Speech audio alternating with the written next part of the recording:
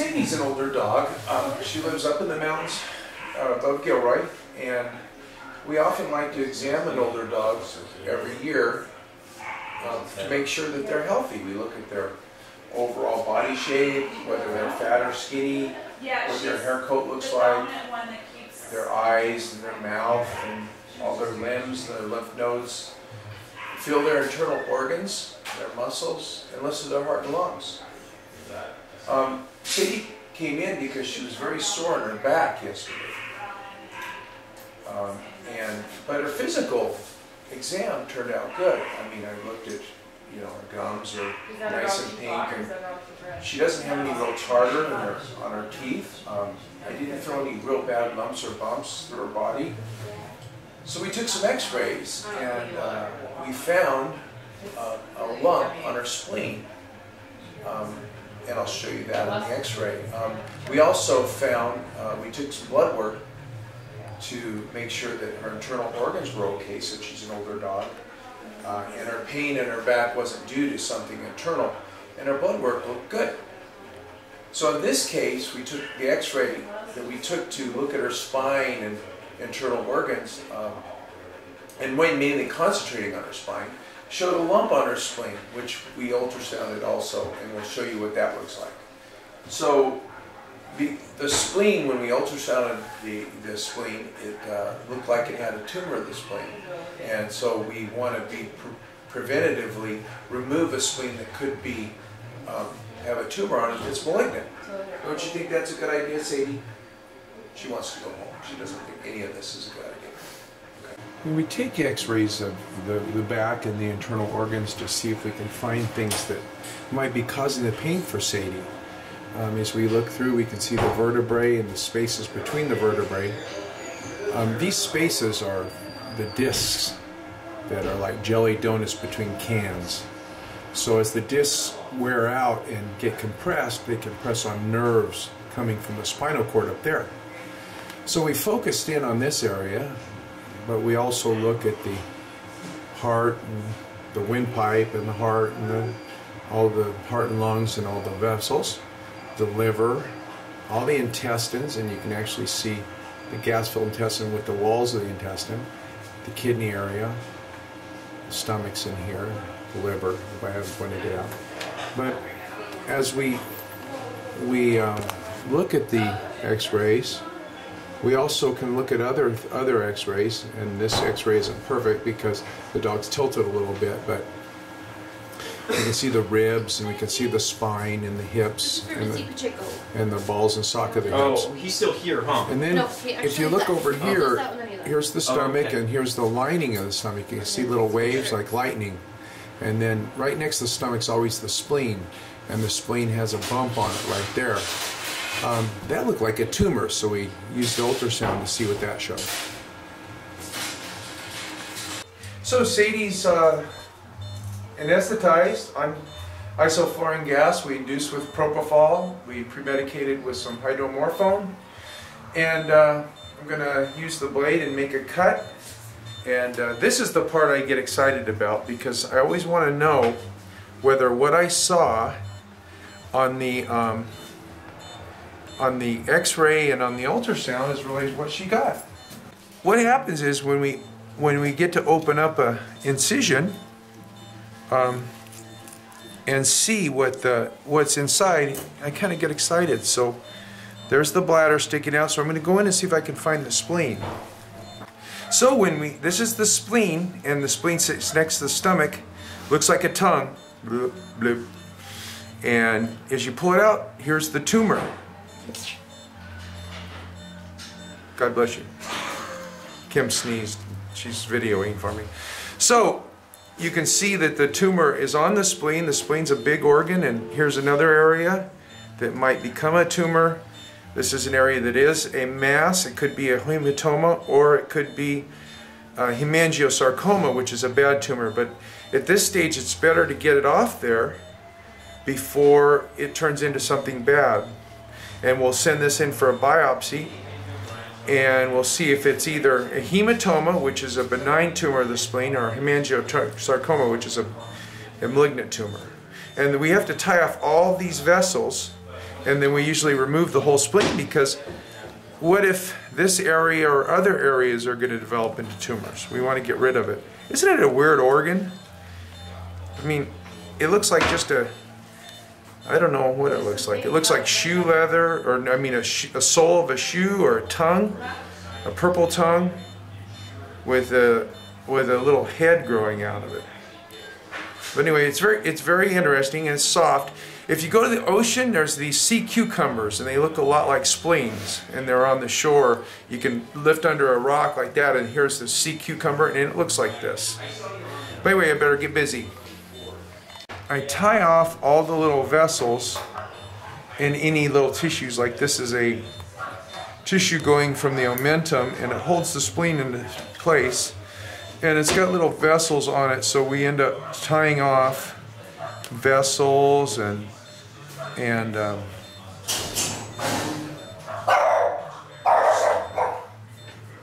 that's just the sound effect.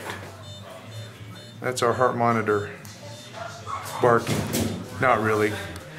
That's a dog in the other room. Sometimes we have the surgery door shut, but right now we don't. So yeah, this is the tedious part of the job. I really don't really like this as much as I used to anymore because it's just tie, tie, tie, tie, and it takes a long time. But you know, it's good. They say all work is good, right? As long as you're enjoying it.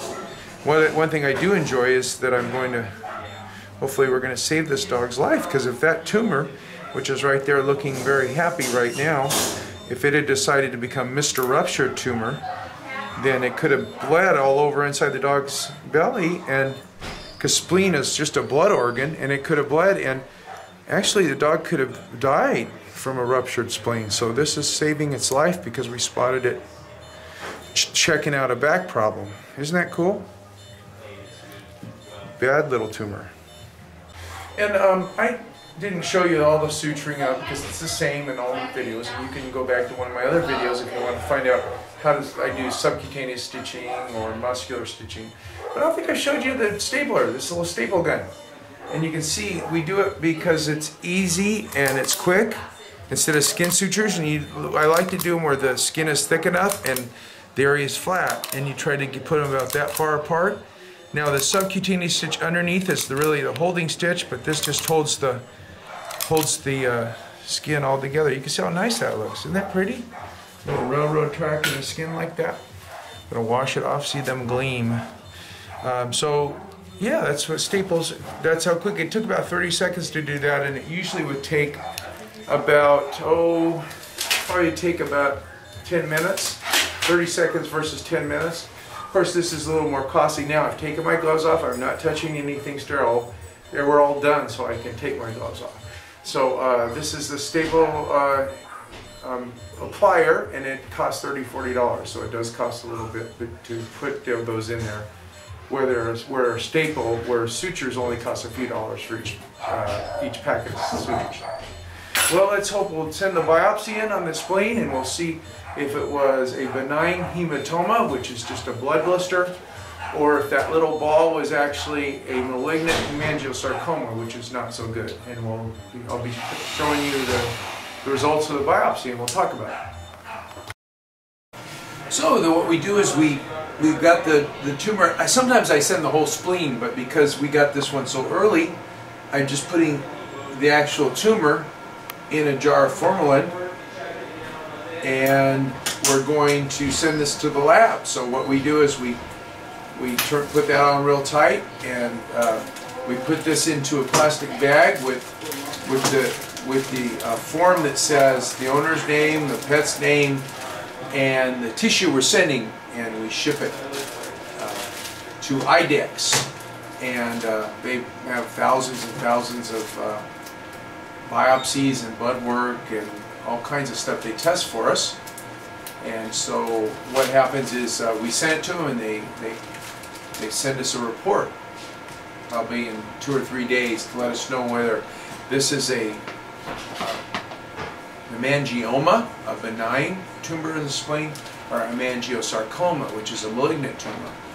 Um, and uh, we'll see what see what we're hoping for the hemangioma, which is just a blood, it's kind of a blood blister or a uh, benign cyst of the, of the spleen. Um, like I said before though, I'm glad we took it out because it could have ruptured once it got bigger and the dog could have had a big bleeding So, so we'll see what happens. Well, the lab report came back as a splenic hematoma, not neoplasia or hemangiosarcoma, which is the one that can spread to other organs and give the, our patients a real short lifespan. Uh, these hematomas or hemangiosarcomas are usually spleen tumors of larger breed dogs for some reason. You know, isn't that weird? But uh, all the breeds have their own little issues, and the splenic hemangiosarcoma is one that can uh, be present in large breed dogs, and often we'll see uh, the um, dog come in uh, white as a ghost with uh, uh, bleeding in the lots of bleeding in the abdomen. And that can even happen with a hematoma, the blood blister that we removed, so we're glad we removed it. Anyway, check out Dog Dish Diet. Um, I think, these are my theories again, that, uh, that these types of uh, tumors, especially the blood filtering organs or the intestines or the liver, can occur because of the some of the chemicals they use in preserving food and uh, some of the additives they put in commercial dog food. That's why I home cook for my dogs, and I suggest you get a higher quality kibble, a hypoallergenic kibble, or home cook for your dogs, and make sure they get all the oils they need. Because if your body is meant to um, run on certain chemicals or certain, I mean, certain ingredients, and with an absence of chemicals, then if your dog's body is always assaulted with allergenic ingredients or chemicals, then it irritates the cells enough to turn into neoplasia or cancer. So I'm not sure that the cancers we see today are certainly some are due to genetic factors, but I also believe that if you feed a really uh, low allergenic load or, or food that isn't irritating and the least amount of chemicals, then your dog isn't going to develop cancer as easily. So anyway, well have a great day and I hope you enjoyed the video and uh, we'll be seeing you soon.